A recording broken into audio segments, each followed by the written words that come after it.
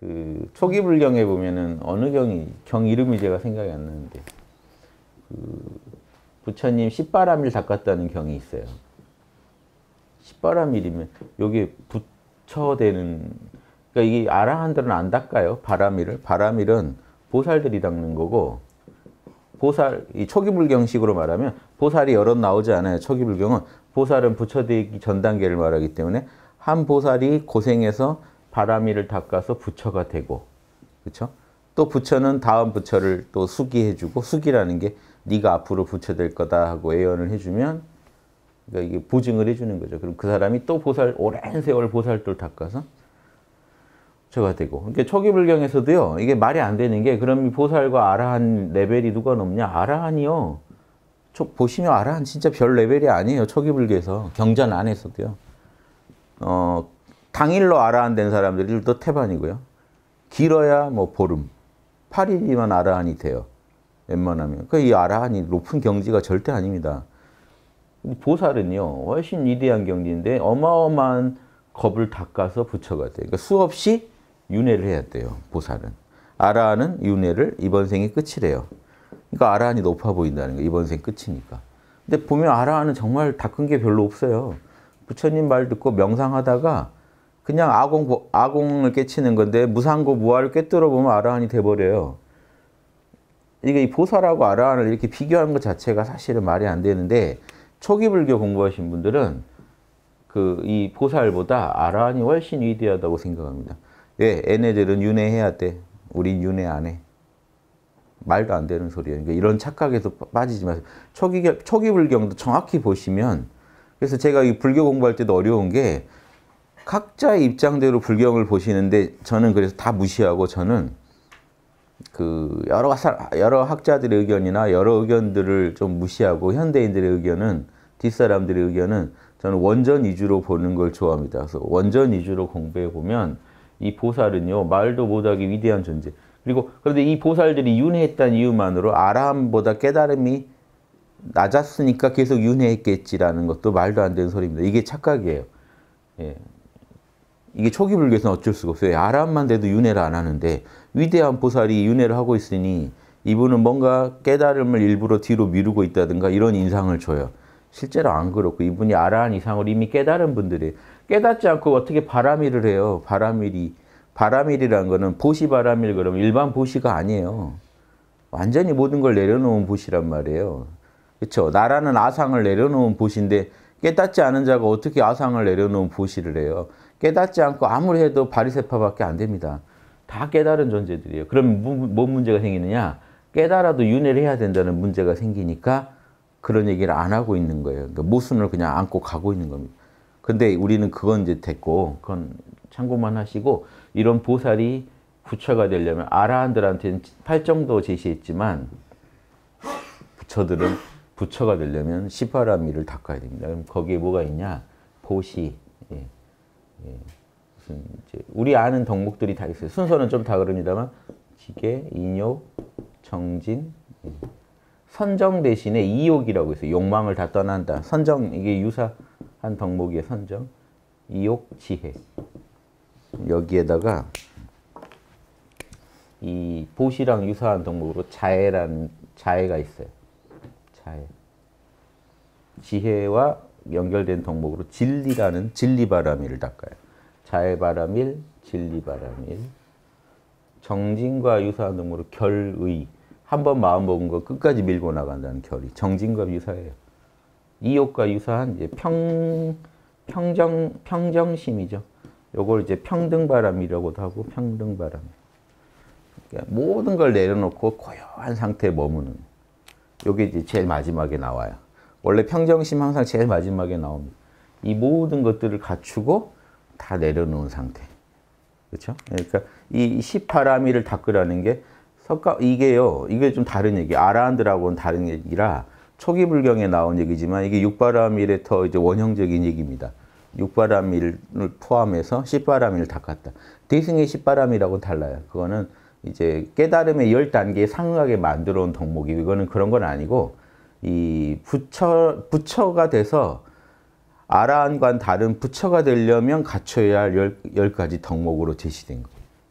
그래서 좀 그 대승십바람이라고 약간 그 보면 비슷하지만 그 의미가 의미하는 게 달라지기 때문에 구분해 구분해서 보세요. 여기 여기서는 이 왜냐 이 십바람일은 철저히 소승적이에요. 그러면서도 대승성을 갖고 있는 게 뭐냐면 철저히 소승적이라는 건 이 모든 것들은요 보시를 통해 나는 빨리 열반을 벗어나야지 이 소리예요. 그런데 아라함만 되면 바로 벗어날 수 있잖아요. 그런데 부처가 되겠다는 건요 초기 불교에서 모든 중생들까지 열반에 들게 할 수 있는 그 인격을 갖춘 그런 능력을 갖춘 아라한이 되겠다는 거거든요. 일반 아라한하고 달라요. 그러니까 아라한은 자기 하나 해탈이니까 그냥 자기 하나 그 열반 얻어서 들어가면 된다는 개념이면 부처는 모든 중생들을 열반에 이르게 하는 거대한 그 인격자가 되겠다는 거거든요. 그러니까 결국 인격 될 인격을 갖추려면 남한테 베풀 줄 알아야죠. 보시 알아야죠. 생각해 보세요. 인격자가 되려면 계율 지킬 줄 알아야죠. 참는 법도 알아야죠. 정진할 줄도 알아야죠. 늘 욕망에서 떠나서 이렇게 선정에 들 수도 있어야죠. 늘 지혜로워야죠. 그리고 항상 진리대로 살아야죠. 그리고 항상 남에게 자애로워야죠. 그리고 예, 항상 이 진리에서 흔들리면 안 되죠. 진리의 길에 절대 결이라는 거는 흔들리면 안 돼. 흔들리지 않는다는 거다. 이 산처럼 바위처럼 흔들리지 않아야죠.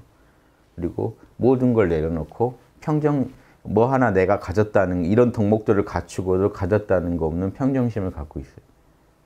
이 정도 이런 인격자가 되려면요 한 생으로 안 되니까 부처 같은 경우에도 수많은 겁을 윤회하면서 이 능력을 갖춘다는 거예요. 그러니까 아라한들은 없는 능력이에요 이게. 근데 지금 대승사상은요 아라한을 배우고 싶은 게 아니라 부처가 되고 싶은 거예요. 그럼 우리도 같이 윤회하지. 윤회를 계속 윤회하면서 어마어마한 세월 닦아서 우리도 이런 인격 갖춥시다. 이게 대승사상이에요. 그럼 지금 남방불교 하는 분들은 열반에나 들지 저 헛소리 하고 있다고 생각합니다. 네가 부처냐? 수기 받았냐? 원래 초기 불경에서 수기 안 받으면요 미리 부처될 예약을 그 해야 해놔야 돼요. 너 예약 예약됐냐? 보증 받았냐? 전대 부처님이 보증해 주셨냐? 초기 불교 관점에서는 그래요. 그러니까 여러분 공부하셔봤자 아무리 보살도를 하려고 해도 보살이 못 되고 윤회계에 떠돌 뿐이라는 거예요. 지금 남방불교 관점에서는. 왜냐? 여러분 수기 받았냐는 거예요. 전대 부처님, 그러니까 석가모니께서 여러분한테 개인적으로 너도 앞으로 부처가 될 거야 라고 약속해 줬냐는 거. 왜? 초기 불교에서는 그게 형식이거든. 지금 부처 될 사람 아무도 없는 거죠. 거 봐. 그러니까 빨리 아라한이나 돼서 빨리 열반에 들고 끝내. 이, 논리밖에 안 나와요. 초기 불교대로 공부하는 남방 불교에서는 다른 논리가 나올 수가 없습니다. 근데 대승에 가면은 내가 부, 내가 부처 되겠다는 거예요. 그럼 너희는 너는 수기를 받았느냐? 그래서 나온 게 일주보살만 되면 나는 정정치예요. 부처 되는 길에 들어서 버려요. 보증을 받아요. 즉 내 안에 있는 불성한테 보증을 받는 거예요. 이게 대승불교의 파격적인 개념입니다. 난 이미 부처되기로 정해진 몸이야 라는 게 일주보살 이상은 정정치, 부처되기로 정해진 사람 이렇게 죠 이게 수기를 대신하는 거예요. 견성이 수기를 대신하는 거예요. 난 부처를 만났다는 거예요. 내 안에서. 비로자나불을 만나버렸어요. 비로자나불이 지금 나의 보증인이 돼주는 거예요. 성경에 보면 성령이 그런 영생의 보증이라 이런 말이 있습니다. 똑같은 소리예요. 성령이 보증인이 되듯이 내 안에서 내 안에 있는 불성이 보증인이 돼주는 거예요. 그럼 게임 끝이죠. 이런 개념들이 이제 대승에서 나오면서 각자대로 우리 모두 알아야 될 게 아니라 부처됩시다 하는 사상이 나옵니다. 근데 이때 재밌는 게 이 얘기 들려다 이렇게 거창한 얘기까지 드리게 되는데 그럼 남방불교식 그 초기 불교식이죠. 초기 불교식 개념에서는 이게 초기 팔리경에 팔려경에 나오는 거니까 부처가 이거 석가모니가 전대 부처한테 이걸 배웠겠죠.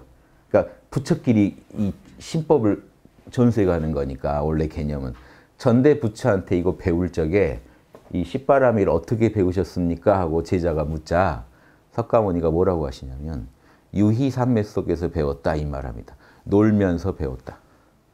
이 말이 되게 재밌죠. 놀면서 즐겁게 배웠다. 이렇게 번역합니다. 보통. 놀면서 배웠다. 여러분들 지금 놀면서 배우셔야 돼요. 얘기하려다가 십바람일까지 놀면서 배우시라고. 원래 부처들끼리 전수할 때는 놀면서 배우는 유의삼매. 즉 뭐냐 즐겁게 몰입해서 하다가 실력이 느는 거지 막 인상 쓰고 공부한다고 되는 게 아니고 각 잡고 막 명상만 하신다고 드립도 하신다고 되는 게 아닙니다. 정확히 알아야 돼요. 뭐냐면 전대 부처한테서 정확한 신법을 배우는데 즐거운 마음으로 몰입해서 즐겁게 배우면 그만인 거예요. 그럼 내 게 되는 거예요. 여러분 이게 지금 열, 이쪽은 뭐 부처 덕후들 모임 아니겠어요? 열반 덕후 모임이나 이 성불 덕후들 모임이면 덕후들끼리 모여서 이 즐겁게 전수하지 인상 쓰면서 하겠습니까? 이 선대 레전드 덕후가 나와서 내가 지금부터 심법을 가르쳐주마. 너희들 원래 이렇게 하는 그 이미 즐기고 있는 덕후들한테 요 얘기 해주면 실력이 한번 레벨업 될 거야 하고 가르쳐 주는. 그럼 서로 즐거운 중에 배우는 거죠. 동호회 아닙니까? 동호회. 동호회 가서 같이 즐기는 사람들끼리 모임이 동호회니까 같은 걸 즐기니까 가서 같이 즐기고 같은 걸 즐기니까 서로 즐거운 중에 실, 전수가 잘 되죠. 그게 이 비법이에요. 부처들 모임에 가서 석가모니도 유의삼매 중에 전수 받은 거예요.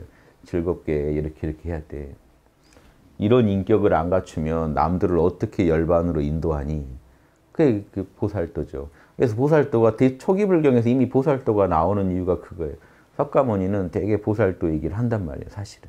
아라한들하고 선을 이 딱 긋고 노선을 달리하는 어떤 가르침이 있는데 그런데 이제 또 뭐가 문제냐. 대승에서 볼 때는 이런 덕목을 갖춰서 세세생생 중생을 구제하러 다닌다를 대승은 좋아하는데 석가모니께서는 이걸로 이제 나, 나도 언젠가 열반에 들지만 열반 들기 전에 최대한 많은 수를 구원해 놓겠다 하는 그런 보살때 약간 맛이 다르다는 거. 뭐 본인도 열반에 드시고.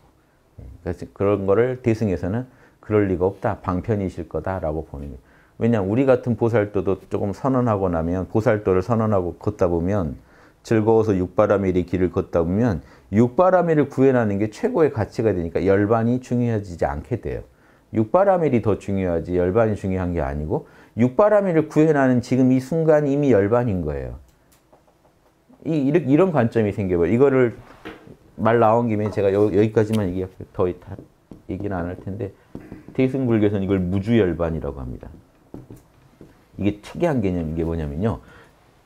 살아서 육바라밀을 계속 현상계 안에서 펼치고 있어야 돼요. 동시에 자기 내면에서 늘 열반이 예, 현현해야 돼요. 이게 무주열반이에요. 즉 초기 불교에서 말한 열반은 현상계에서 사라지는 열반이죠. 그게 아니라 현상계에서 적극적으로 육바라밀을 펼치는데 그 사람의 내면은 열반인 상태. 그걸 무주열반이라고 그래서 무주열반을 최고로 칩니다. 사실은 그래서 이 대승불교에서도 티베트 불교 쪽은 무주열반을 성취하려면 이거는 부처만이 할 수 있는 것처럼 얘기합니다. 사실은 모든 보살이 하는 건데 티베트 불교가 왜 무주열반을 그렇게까지 치냐면 원래 부처님이 열반에 들어 사라져야 되는데 대승에서 바라본 부처님은 그때 사라진다고 하는 건 방편이었고 사실은 지금도 우주 공간에 현상계 안에 계시면서 끝없이 보살도를 하고 있다. 이게 대승 경전들의 내용이잖아요. 법화경도 그 내용이고 열반경도 그 내용입니다. 그러니까 이분은 이분이 부처님이 뭘 뭐에 드신 거예요? 무주 열반에 드신 거예요. 그러니까 열반은 열반인데 육바라밀을 계속 펼치고 계신 열반에 드셨기 때문에 무주 열반에 드셨다고요. 그러려면은 아라한들은 공덕이 없어서 무주 열반에 못 들고 육바라밀을 열심히 해온 사람만 육바라밀의 공덕이 현상계에서 계속 육바라밀을 할 수 있는 힘이 돼줘요. 그래서 무주 열반에 들 수가 있어요.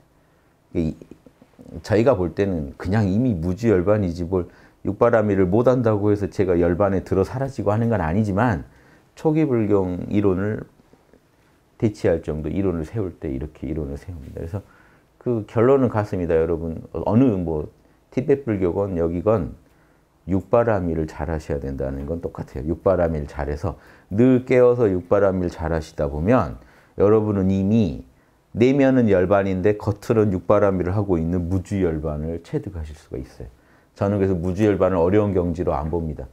일주보살 여기 학당에 오셔서 찰나라도 체험하실 수 있어요. 찰나라도. 일주보살 이후가 원래 학당에서 1급 이후가 그래도 무주열반 이제 맛을 알았다 하는 자리지만 지금 오신 분들 바로 지금 몰라 하시고 참나 만나시면 내면은 열반이죠. 밖으로 최선을 다해 육바람일, 하고 계시면 그러면서 본인이 아는 거죠. 일체가 참나의 작용인 줄 알면서 육바람일 하시면 내면은 열반이요 밖으로는 육바라밀을 펼치는 상태가 됩니다. 이게 보살도의 극치예요. 찰나라도 그 맛을 보시면 아 보살들은 그냥 이 재미로 사는 사람들이겠구나라고 아시면 돼요.